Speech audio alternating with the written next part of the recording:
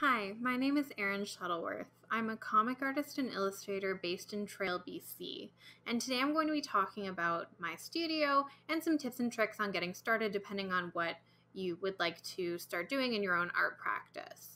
So I'm kind of a little a bit of a jack of all trades. I first and foremost comics are my focus. So I do daily comics on my Instagram and I also write a couple of comic book series like Skeleton Joe and Mindless Muse. And then I also do illustrations and prints and commissions. So I have three kind of workstations in my house. You always see these beautiful like Instagram workshops, um, and I just don't have that. So, first, I have my computer, uh, which I have upstairs so that I can kind of multitask and take care of my daughter as well as kind of um, do any graphic design, anything kind of like technical and a little bit more time consuming. I do it upstairs so that I can interact with my family um, and I'm not just like in a little dungeon working on projects for hours at a time.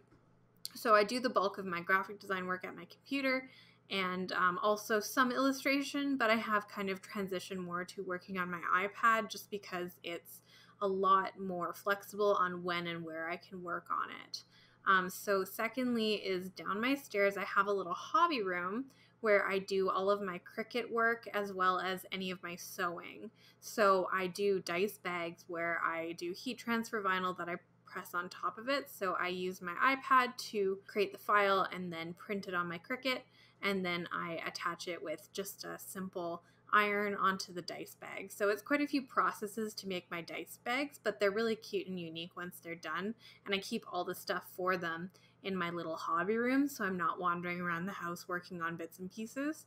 I'm able to, you know, sew 10 bags at a time, and then I can go on the Cricut and do 10 designs. And I have a nice streamlined performance for all of that.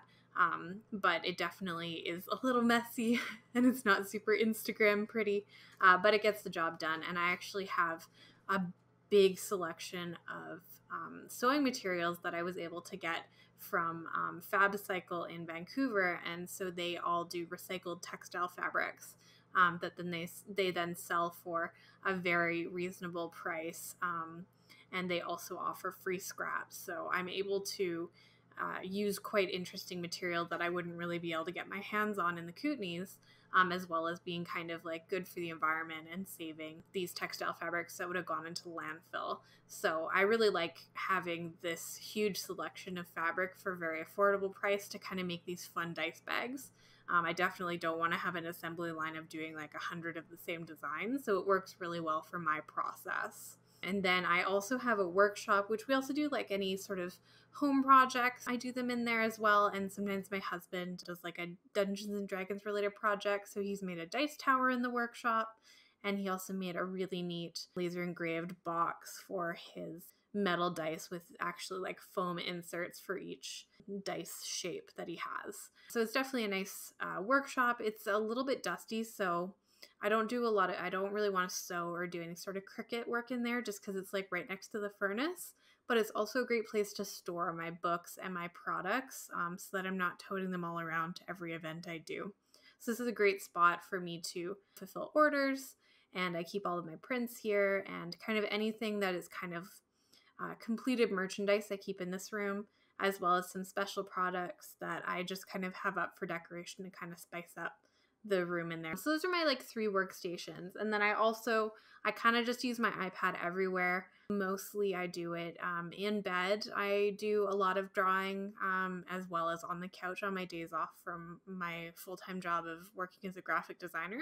So I like the flexibility that the iPad offers. It's definitely I recommend if you already have an iPad that is game changing to get Procreate on it and get an Apple Pencil um, or you can even get like uh, cheap, more inexpensive pencils that are still pretty high fidelity, just like a, a, a step above just the, the simple stylus. I find you want that pressure sensitivity, and uh, the Apple Pencil works perfectly for me. That's kind of like my workspace and kind of a little bit of what I do. Um, again, the comics are more my focus, so I do spend a lot of time upstairs in my house working on my computer, doing the layout of a new project or working on the iPad illustrating. Um, so, some kind of recent projects I've worked on would be um, my Unnatural Dogs uh, coloring book. So I did that all on the iPad and then I just laid it out. And it was really simple because it was just illustrations, um, depending on the project. Sometimes the graphic design is quite time consuming. So if I do a children's book, that's quite a bit of work um, to make sure the text lays out and make sure I'm dealing with there's like creep and bleed and all this kind of technical stuff to worry about when you're doing um, a children's book or a more a, a bigger book project other than a simple coloring book which you don't really have to worry about the margins and the bleed and all that kind of stuff as much because i just print them really basic. Um, but definitely if you're doing like a, a big run of a graphic novel or a kid's book there's actually a lot of graphic design that goes into it um, so I feel very fortunate that I have these skills in my wheelhouse that I'm able to save on the cost of printing because I can bring in a print ready file. Um, so that's actually something that I would highly recommend if you're interested in doing your own graphic novels is learning a little bit of the graphic design if you feel comfortable. Um, I took a lynda.com um, tutorial to learn how to use InDesign basically, and then I also use it at work. So I've I'm pretty comfortable with it now. But that's just saves you so much money because um, graphic design can get really expensive for a reason because it's quite a bit of knowledge is needed and the uh, products themselves are quite expensive. Um, if you get the full suite of Adobe, it's pretty much a hundred dollars a month. So it's a it's a big undertaking. Um, but if you have access to any sort of graphic design tools, or any sort of basic experience, I highly recommend trying to do as much of the graphic design as possible. Same with doing your own covers, um, just because it just saves you so much in the long run.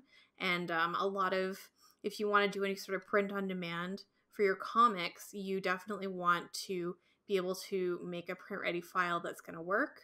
Um, so they will ask for the correct margins, the correct size, um, so having those skills really work to your, in your favor and help minimize costs that you maybe don't expect when you undertake a graphic novel project.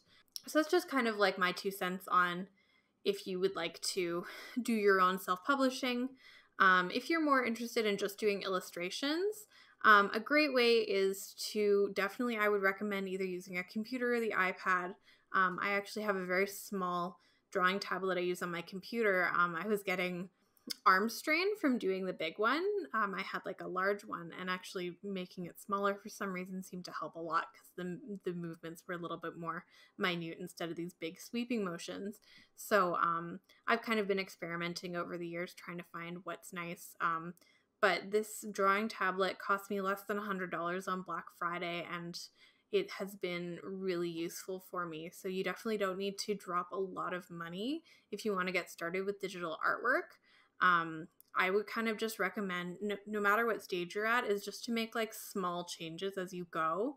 So I have all this stuff now, but they were all very, um, very spread out purchases for the most part. And um, as I upped my skills and my comfort level with the technology, that's when I would upgrade.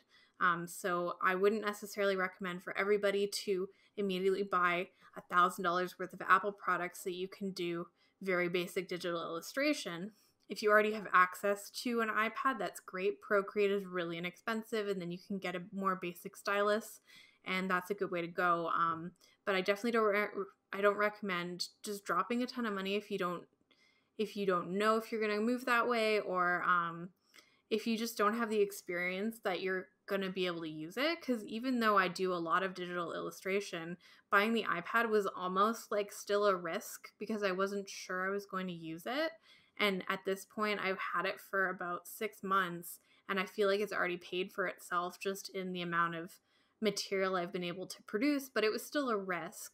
So I definitely recommend starting small and building up as your skills get better. Um, the same would go for if you don't want to do digital, if you want to do just traditional work, get a basic, you know, marker sketchbook and some microns and start there before committing to like alcohol markers or like a ton of Poscas. I've been slowly buying Posca paint pens essentially. So I bought like five to begin with to see if I liked it instead of buying like the giant set of all of them or, you know, the set of 10. I believe that's like well over a hundred dollars. Um, so I definitely like don't like if you have the money and you really are interested in doing it, then I'm not saying don't spend it but I'm saying just like think about what would be like the the easiest way for you to start doing it without breaking the bank too much. Because I just I I feel so guilty if I start a project and realize that like I've spent all this unnecessary money when I could have done it just in a sketchbook with a micron or you know I could have done it on my $100 tablet instead of on my $1000 iPad. So that's definitely like you see all these people with the, all this amazing technology and all these amazing tools and hopefully they're like me and they've taken their time to build up that supply instead of just dropping money unnecessarily on all of these um, all these things that you might not necessarily jive with like i personally am not a fan of alcohol markers and i'm just so glad that i never went out and bought a ton of them i practice with friends. I, you know, watch videos and tutorials, and it just wasn't my jam. Same with watercolor. I just have never been very comfortable with using it. I don't want to drop the money on it, and I just don't, that doesn't really work with my style. So I definitely recommend like watching videos and watching free content and seeing what works for you um, because you would just hate to drop a ton of money on something and feel this guilt that it doesn't work for you. You know, it's like picking a sport and then realizing after one practice that you don't like it, right? So just use all the tools at your advantage on the internet or ask friends if you have art, other artist friends and see what works for you because I definitely like I've had regret when you know committing to a new step and there's definitely been things that I've spent money on that I absolutely didn't need um, so I just recommend doing your research and starting small um, and just, you know, like seeing what works for you at these small steps. So definitely, like if you want to get into digital illustration, you're going to need something to be able to do it on. So if you already have a laptop, then I would recommend just a Wacom drawing tablet with relatively good pressure sensitivity. But again, that's only going to cost you about $100 to get a small one. And if you already have an iPad, then yes, I would recommend getting Procreate because I believe it's like $16 and then also getting a nice stylus, essentially a level up from the basic stylus type. So there's an LG one that would run you probably about $90.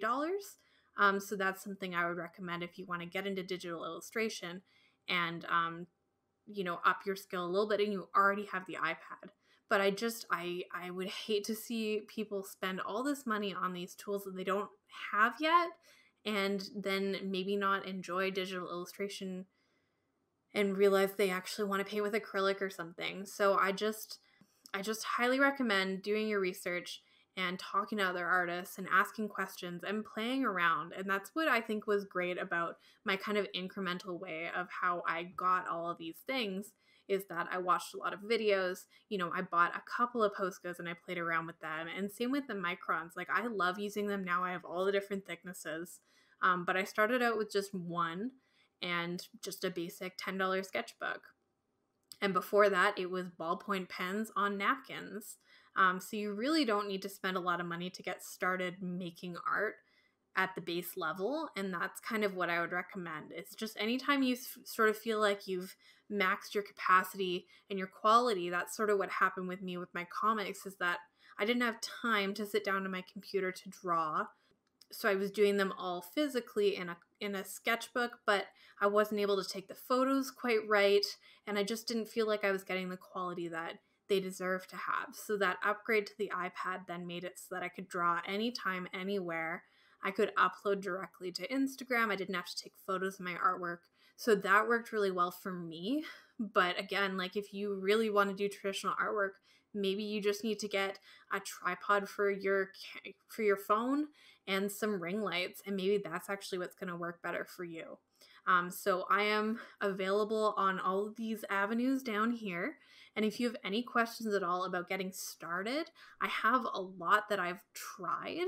Um, so I'm more than willing to discuss this and uh, you know help you decide what's the best way to go about your own art practice. Just make your art and um, level up as needed, but don't you know commit immediately to something that you're not really sure that is gonna work for you. Thank you so much for joining me as this little studio visit and some tips and tricks on getting started. And again, you are free to contact me if you have any questions at all. I love discussing how to level up your own art practice and meet fellow artists who are interested in doing digital illustration or traditional stuff as well. Um, so feel free to reach out, and I hope that this has been kind of a helpful way to get started in your own art practice.